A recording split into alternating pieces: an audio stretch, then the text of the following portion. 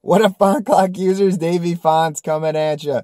Now, I was just getting some feedback from one of our users telling me he doesn't have enough time in the day to go to the gym.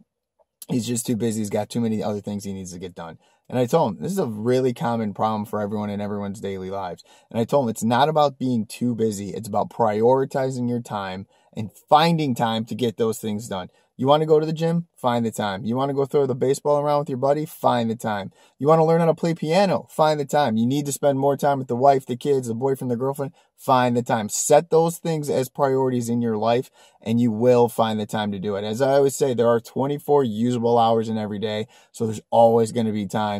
Just got to set those things aside as what you want to do. You'll be able to find the time to get the things done you need to get done as well as the things you want to get done. So let's find those hours. Let's prioritize. Now let's get up. Let's get going. Let's win the day.